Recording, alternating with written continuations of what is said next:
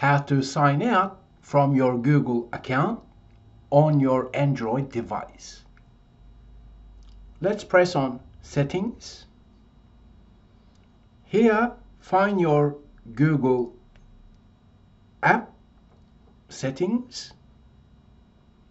Let's press on manage your Google account.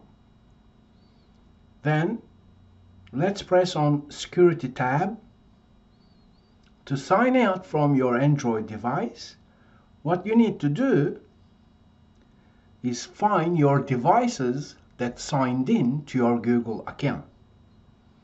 Let's imagine your devices here. It says two sessions on Android phones. Let's press on it. Yeah. To sign out, all we need to do is press on the device information. Actually, I'm signed into this one here and then simply press sign out. So that's one way to sign out from your Google account on your Android device using the settings option.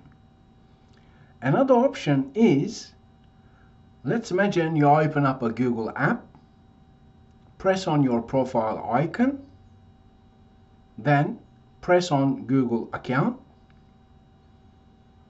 and the settings are the same in terms of find security tab find the devices that you're signed in from and then press sign out and your Android device will be signed out from your Google account